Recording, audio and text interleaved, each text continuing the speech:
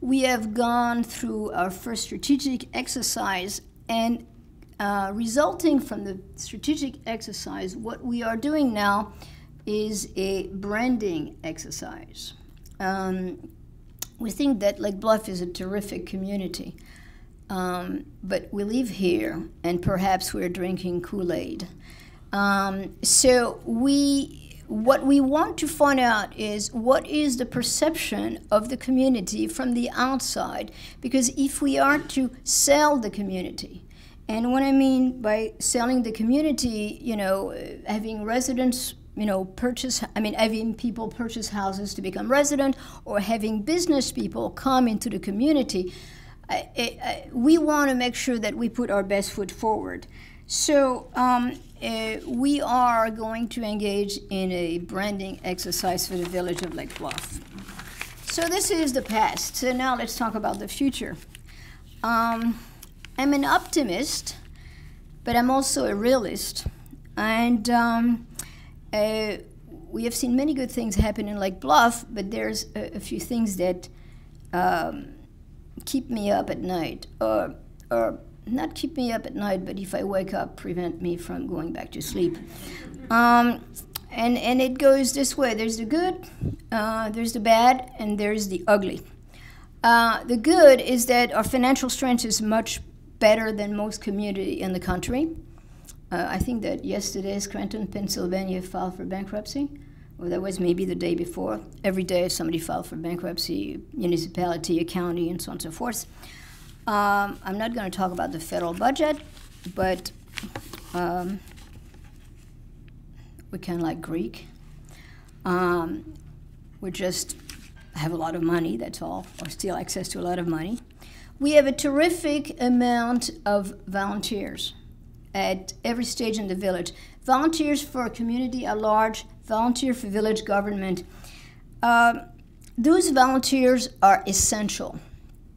Uh, the bike race um, initially was one of our business person. Um, they're thoughtful, they're visionary, they're energetic, and most importantly, they're irreverent.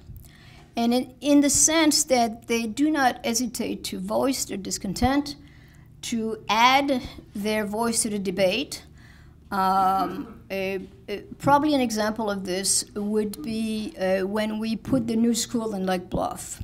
Um, I looked at the plan for the new school, and, and there was an approval through the village process. And I looked at the playground, and I thought everything was copacetic.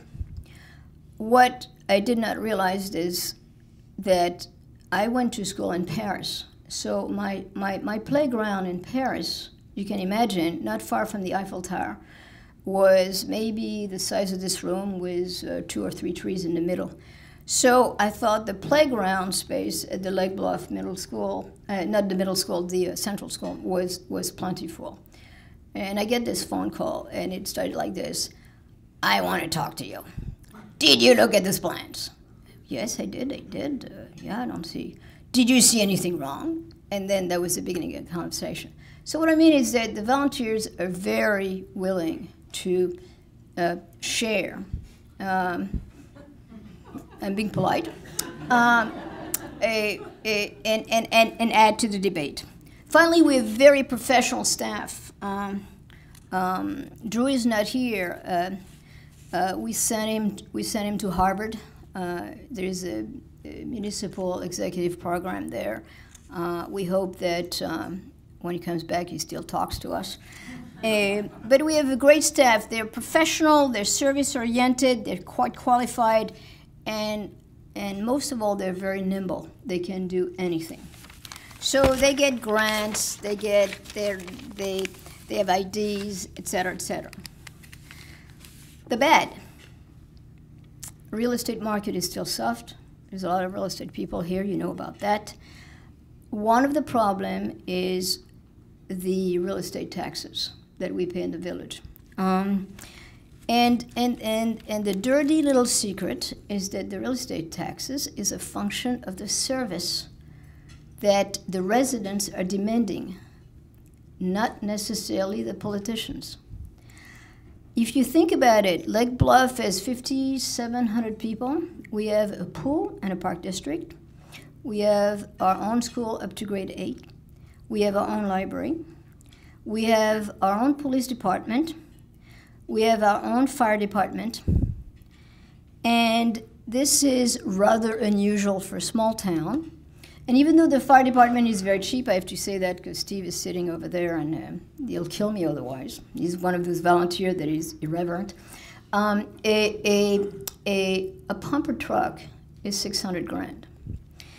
If uh, we were living in Canada, we could not have a police department if you have less than 50,000 people. And if you think about it, that makes a lot of sense. So, uh, next is that we have an aging population. I'm looking at a lot of you guys, and you're fairly representative of our demography. 55% of the population in Lake Bluff, and that includes me, is 50 years old or older. Um, so that worries me because our volunteers, some of our volunteers are getting old, and, and, and, and we need a constant you know, replenishment. Uh, the price of real estate in Lake Bluff um, is, is, is high, and the taxes are high. And, and, and what this does is that it limits the, the, the access for young family to Lake Bluff. I, I moved to Lake Bluff, I had a one year old kid. I, I don't think I could afford my house. And, and, and that is a problem as far as long term sustainability. Our housing stock is not diversified and does not correspond to our demography. Um, the, the, the, building boom of the last decade eliminated a lot of small property, and I was just having a conversation um, uh, with somebody. A, a, there's very little small housing option, and if, if, if the majority of your residents want to downsize, this option does not exist. Um, I also think that we are suffering from what's happening with the economy in general. It's the age of deliberate. Del- I'm sorry, I'm a French person. It is a hard word to say, but uh, everybody has been highly leveraged. Uh, consumers, government, municipalities, etc. And and now everybody is on a sort of uh, not saving pattern, but less spending. And, and, and even though we like to think that we're somewhat isolated from this national trend, they affect us. Um, so I foresee slow growth, and we see this in the uh, sales tax picture, uh, the building permit. Okay, uh, I'm told that uh, I have to cut it off. So sorry. Uh, the ugly is the pension crisis. I'm going to give you some numbers. I want you to think about this. Uh, I believe in numbers. Um, we have a police department. We have 13 active employees, 13 retiree or people on disability or people that are dead but we are paying pension to their widows. Uh, you don't have to have a degree in finance or actual, fi- uh, uh actual mathematics to know that this is unsustainable. Um, uh, there's a 3% automatic COLA every year. As of this year in the budget, we're going to put $625,000 toward the pension plan, and that is 55% of the payroll for the police department. We are not factoring health benefits. Do you understand what I'm saying? This is why uh, it's nice to have your own police department, but they're very expensive.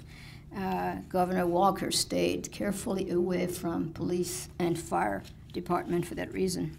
Um, so, do I have any solution to the pension crisis? No, but I have a word of advice for my uh, successors.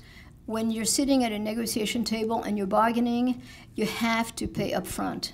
When you promise a benefit in the future, uh, uh, you don't know what you're getting into. It is very difficult to predict financial trends. Um, uh, it is difficult to predict. I mean, you know, the, the, the, return in the market in the last decade was not particularly good.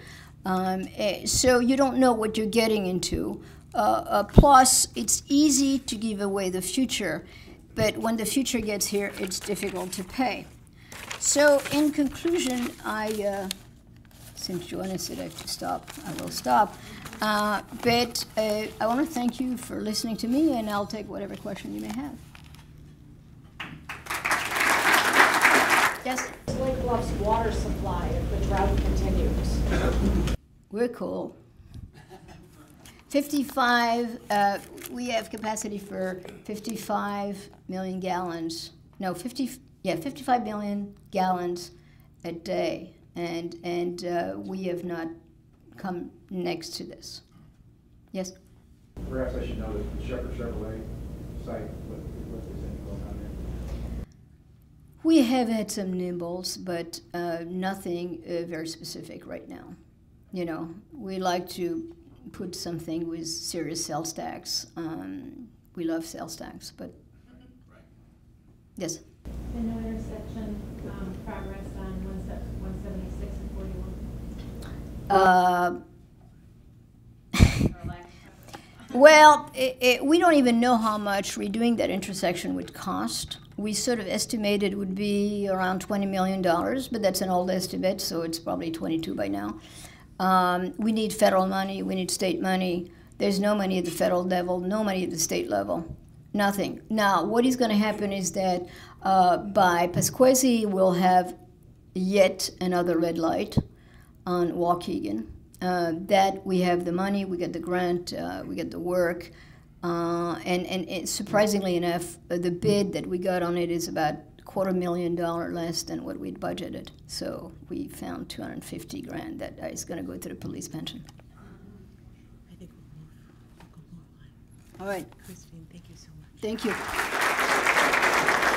Thank you so much, Christine.